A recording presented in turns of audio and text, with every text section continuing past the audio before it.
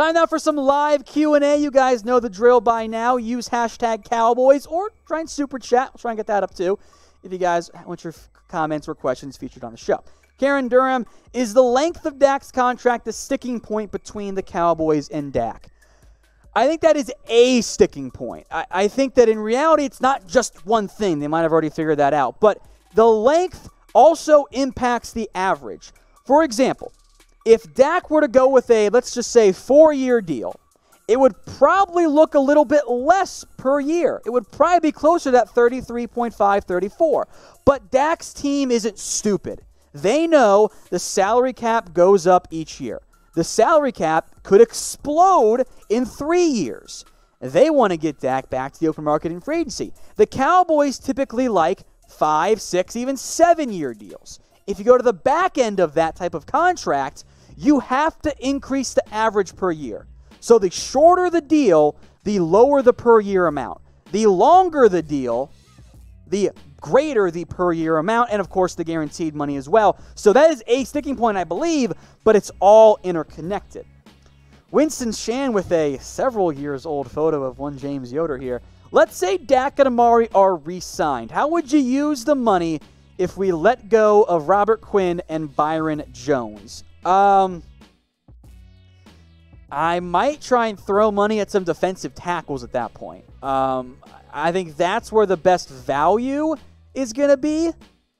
Um, I would try and re-sign one of Quinn or Jones, quite frankly, but I look at the defensive tackle market, which is deep, talented, and good.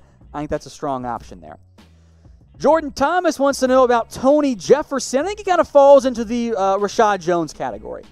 Kind of coming off down year, was banged up as well. He's not the same guy that he was in his prime. But as a bridge option, as a bridge safety, you can still draft somebody, but now you don't have to draft somebody. I think that has value. I think that type of player, again, at the right cost, does carry value for the Dallas Cowboys. So that is something I would consider if I'm Dallas. Of course, what the cost ends up looking like for Tony Jefferson. So just keep that in mind. I think he makes some sense, but I think there are quite a few who make sense. Miguel Rodriguez, why have they not restructured or cut Tyrone Crawford? Well, Crawford has expressed interest in a restructure. I, if the Cowboys want that. In reality, I think it's the lack of a new CBA. Once that is done, I think you'll you'll get some traction on that. So, for example, normally when you restructure a deal, you take some of the base salary and make it unlikely to be earned incentives. For example, for Tyrone Crawford, you could make it hey, you have to get 100 tackles or you don't get paid. He's not going to get 100 tackles. But if there is no new league year, all incentives are likely to be earned, which means they still count against the cap. So I think what's going to happen is once that's done, the Cowboys and Crawford will try and figure out a new a new restructure if at all possible. Now, I'll remind you guys again, I have been told I got to hit 50k subs or else. The bosses have not yet told me what that is. We're now at 49, 869, which is super nice to be fair, but we're still just about 130 away. So, can you guys help me out and get us to 50K as soon as possible? They're not telling me what the or else is. So, quite frankly, I'm a little bit concerned. Uh, I would like to get it done as soon as possible, and we'll do some fun celebration stuff as well. But help help a brother out here, and let's get to 50k sooner than later, so I don't figure out what the or else is. All right, DJ Martin, how about we tag and trade Amari and a mid-round pick for Stefon Diggs? I am all aboard that idea, and I think the Cowboys too would have interest in that because Stefon Diggs' contract is so team friendly. You're paying 12 million for him. The issue is, I don't have any idea why Minnesota would want to do that deal. A, they wouldn't save very much by trading away Diggs. They would have to pay Amari Cooper as well. So you're paying two receivers to get one of them and to only get a mid round draft pick back doesn't make a whole lot of sense. If Diggs does get moved, because his contract is so team friendly and team favorable, I just have a tough time seeing a mid round pick getting it done. You have to give up a whole lot more. Alex wants to know, as Lisa tries to trigger me, uh, would you like a Mariota pick up in a Dak tag and trade? No, because why would I get worse at quarterback? I, I liked Marcus Mariota a lot coming out of, of college. He was not good the past couple years. As a backup, I have a lot of interest. To plug him in as my starter, I feel like I'm asking to have a really down season. Jordan Thomas, longtime watcher. Thank you, Jordan. How much say does McCarthy actually have in personnel? Will he be able to fire players who mess up? Example, Montgomery on that kick return. I think that's really more to be determined at this point. Uh, he will have input. The Cowboys have always given their coaches, I would argue too much, but they've always given input to those players. It's not like McCarthy, though, has GM powers. That's still going to be Will McClay slash, slash Stephen Jones, but it is going to be more of a, a team operation when it comes to making decisions. So, yes, McCarthy will have input, but it's not like this is a Bill Parcells type of move where he gets to make all the decisions in the end.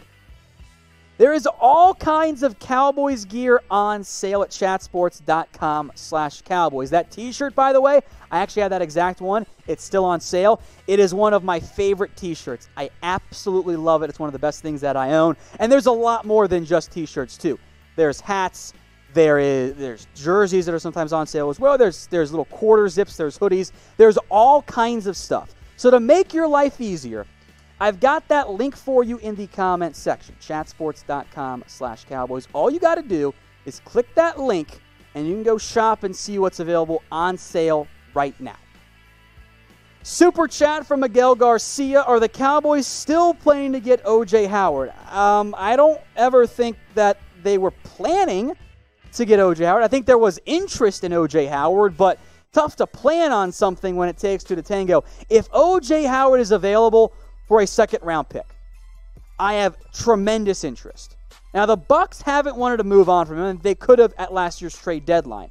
If he becomes available, I would love to move my second round pick. I think that is absolutely the route to go. And if I can get him for a third, even better for the Dallas Cowboys. Back to Karen again. What are the chances that the Cowboys will have the transition the wow, the franchise and transition tags available? It really comes down to is the CBA approved? We're not going to know that for a little bit. The deadline is now March 14th at really midnight, so stay up if you want, I guess. If it is approved, if there is a new CBA, you only get one. If it gets voted down by the players in the union, you get two. So I wouldn't anticipate necessarily a Amari or a Dak deal until that March 15th window closes. Because if it gets voted down, the Cowboys actually have more leverage in contract talks, and they might be able to save a million or half million or something else on that one. So I'll put it at best 50%. I think it passes, but we'll have to wait and see just a couple more days. Big Daddy wants to know about the possible NFL draft without fans in attendance due to Go Bear. Reminder if you missed it earlier, YouTube doesn't like it when we talk about that thing. You know, the thing that got the NBA season suspended, uh, March Madness canceled as well. Apparently, it's too sensitive of a topic. So instead, we're going to call it Go Bear. That way, we can still have the discussion that we need to have without freaking out YouTube. But back to your question, Big Daddy, on NFL draft without fans. It's still early for me to, to, to know for certain. There is about six weeks of time to figure that out. So we're going to have to wait and see. I, it is a very real possibility, but it's kind of all speculation right now. So we'll have to just wait to see what ends up happening on that front. I do think that is a possibility. The, the I guess if there's an upside to this, the NFL draft can be done remotely. You don't have to have everybody there. It's, not as much fun, but it is still possible to pull off. The NFL not in season right now. That's coming. Up, that's not coming up for a little bit here. So I want to know from you. Everyone predict in the comment section. What will be the Cowboys' record in 2020? They went, of course, 8 and 8 last year. It was not great. They really should have been a 10 win team. They lost all of their close games, and that's unusual. They should regress back to the mean next year. Frankly, I think 10 and 6 is a very real and a very likely possibility for this Cowboys team. The talent might drop a little bit. If you win 50% of your close games, you're a double digit win team. That's how the Cowboys should be I think 10 and 6 is a minimum baseline for this team. All right, Akil, would you rather pay Dak or Amari to see if they are really worth their asking price? I think it is obvious to get Dak done non exclusive on Amari, and if CBA doesn't pass, transition tag Jones. I am on board with that. Um, I, I think in reality, if, if you're trying to juggle everything as best as humanly possible, get Dak done. That's the that's the best way to go. Then you have some flexibility. Uh, you, you're good. You could have flexibility on one player. I would rather have that on Amari, just because of the way it's easier to replace a receiver than it is a quarterback. Super chat from Zeke Feaster. No more Brady talk. Dak's numbers were better 11 and 5. Yeah, he's right. I, I know it's the quarterback, and we've foolishly made quarterback win, wins a thing despite my best effort.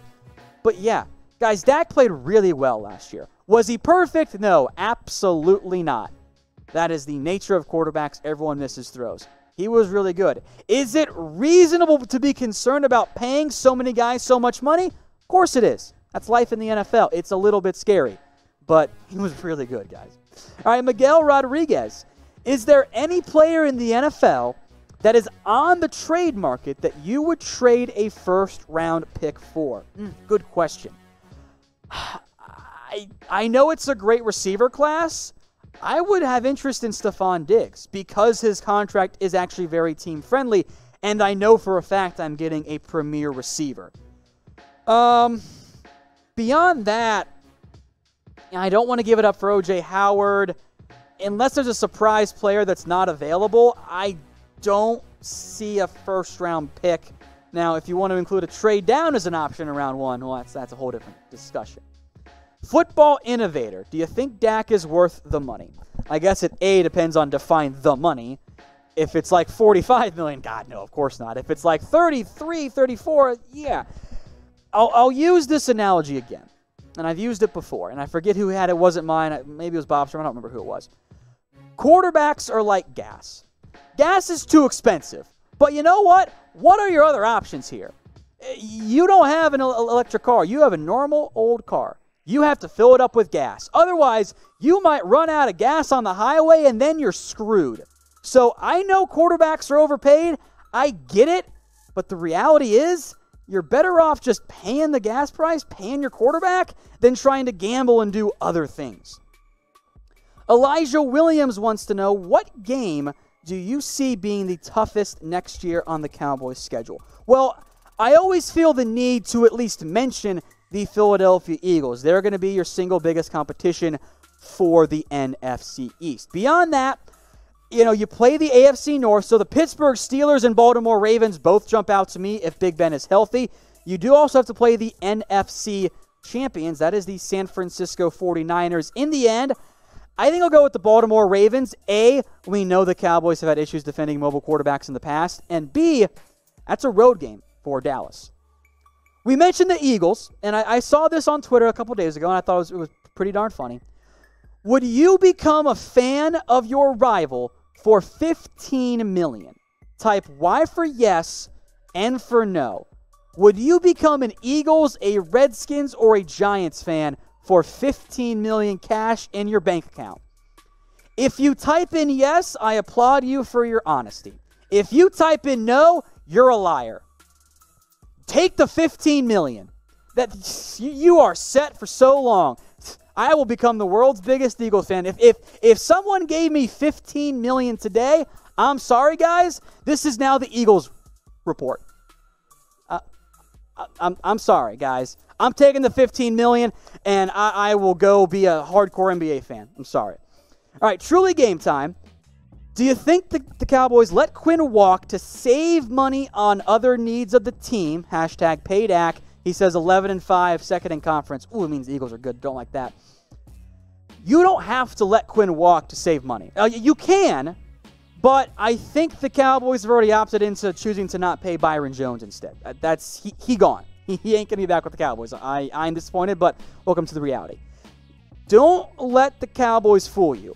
They can spend money on a lot of players. Now they like to have some flexibility. That's fine you can make it work. So if the cow so it might not be in the best financial sense to do something, but you can make it happen if the Dallas Cowboys. I appreciate all the super chats. Thank you guys so much. You're the best. From Zeke Feaster, What really upsets me the most about people saying to cut Dak slash get rid of him is most of these people were saying cut Romo, Dak's our future. This is true. I'll take it a step further though. The people who are saying to to bench to, to dump Dak were saying Romo's not that good and are now idolizing him. When you should have been like me and just worshiped Romo from the beginning. That would have been the correct decision. I don't, and I know it's how fandom works. I don't think people have a great understanding for how the rest of the NFL looks at the quarterback spot. It's not that pretty. Bro, Dak, I know he's expensive, but he's good. It's worthwhile. All right, the Popos, another super chat. Thank you so much. He says, "I'm broke now. Heck yeah, go Eagles." I I know it's it is dis not just not disingenuous. It feels blasphemous to say you would take the 15 million over your favorite team, the Cowboys, for all of us here, except for you trolls in the comments section. But it's 15 million, man. I ain't got that kind of money laying around. I'm sorry. All right, another one from Yo Squiggly Man. Can we keep Byron, cut Cooper, and draft a new receiver? I love this receiver class, even though I do want Delpit or Kinlaw. This is a point I've made before. And I don't want it to seem like it, I'm saying it is super easy to replace Amari Cooper. It's, it's not. That's not how things work. But I believe it is easier to re sign Byron. You kind of blew, I think, blew your shot on that one.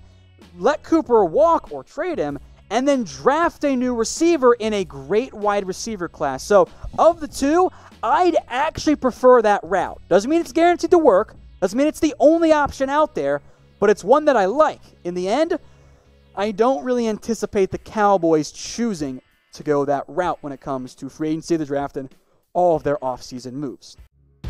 Hey, Cowboys fans, thanks for watching the Cowboys Report. If you haven't already, click right here to subscribe to our channel for all the best Cowboys coverage on the internet. That's news, rumors, highlights, mailbags, film studies, and a whole lot more. And I'm making your lives a little bit easier as well with the next Cowboys Report video right here.